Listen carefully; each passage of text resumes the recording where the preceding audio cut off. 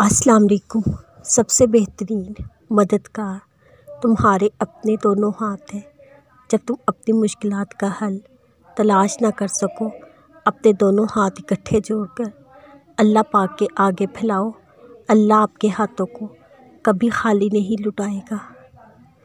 तुम्हारा ताल्लुक़ जितना अल्लाह से मज़बूत होगा, उतना ही तुम खुद को पुरस्कून पाओगे।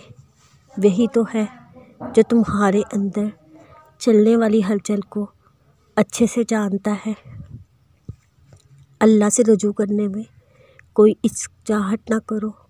उसके पास गुज़रे हुए कल की माफ़ी भी है और आने वाले कल का इनाम भी। तुम्हारी मुश्किलात, चाहे आसमान जितनी ही बड़ी क्यों ना हो, अगर तुम्हारा अल्लाह पर यकीन है तो कोई तुम्हें हरा नहीं सकता। मौत से करना अल्लाह का काम है। हमारा काम बहुत आसान है। दुआ, सब्र, यकीन। तुम दुआ मांगना कभी मत छोड़ना, मगर हाँ मुकद्दर के पीछे कभी मत भागना। बस यकीन रखना और इंतज़ार करना। जो लम्हे सब्र आजमाते हैं, दरअसल वही कबूलियत के लम्हे होते हैं। जिनका हम और हमारा वो इंतज़ार करते हैं।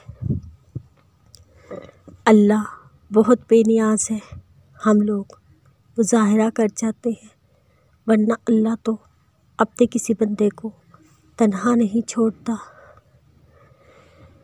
जब चाहने के बावजूद, दुआएँ करने के बावजूद आपको आपकी मतलूबा चीज़ ना मिल रही हो, तब फिर खामोश हो जाना। अपना फ़ैसला अपने रब पर छोड़ देना। और ख़ुद उस मामले से निकलने की कोशिश करनी चाहिए। चाहे दिल कितना भी उदास हो, वो रब जो करेगा, वो यकीनन बेहतरीन होगा। वो रब जो है ना, बस वही सब है। वो ऊपर बैठा है, हर वक्त हमारे साथ है। बस यही काफ़ी है। हमें उन फ़ानी चीज़ों की वजह से अल्लाह के साथ अपने ताल्लुकात ख़राब नहीं करने चाहिए, ना मायूस होना चाहिए, ना उदास। तुम जानते हो, अल्लाह तुम्हें बेबसी के मुकाम पर क्यों लिया? ताकि तुम अल्लाह से रजू करो, यकीन से मांगो। जब तुम दुआओं पे यकीन करना सीख जाओगे, हर चीज़ जो भी तुम्हें नामुमकिन लग रही है। वकूफ़ पज़ीर होने लगेगी। जो चीज़ नसीब में नहीं, वो भी तुम पालोगे।